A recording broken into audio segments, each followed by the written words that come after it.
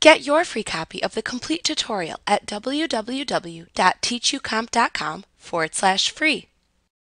Because of the increased use of tablets, Excel contains a mode that allows for easier access to the buttons and commands within the Ribbon and Quick Access toolbar.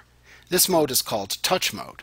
When you enter Touch Mode within Excel, the Ribbon and Quick Access toolbar are enlarged, and extra space is added around the buttons and commands within the Ribbon and Quick Access toolbar so you can more easily access them on your touch-based tablet. To enable Touch Mode, Click the small drop-down arrow at the right end of the Quick Access toolbar to display a listing of the most commonly used commands. Click or tap the Touch or Mouse Mode command in the drop-down menu to add that button to the Quick Access toolbar.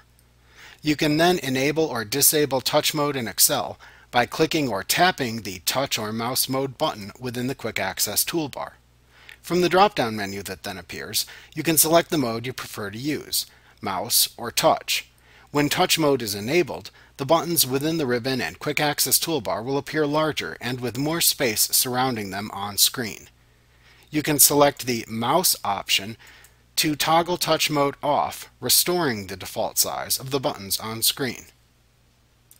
Like what you see? Pick up your free copy of the complete tutorial at www.teachucomp.com forward slash free.